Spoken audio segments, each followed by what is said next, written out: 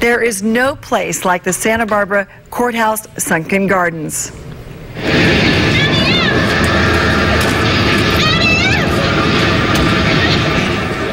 That's where The Wizard of Oz screened for free tonight. It's all part of UCSB's Over the Rainbow Great American Movie Musicals. The free summer film series screens on Wednesdays at the Isla Vista Theater and Fridays under the stars at the courthouse.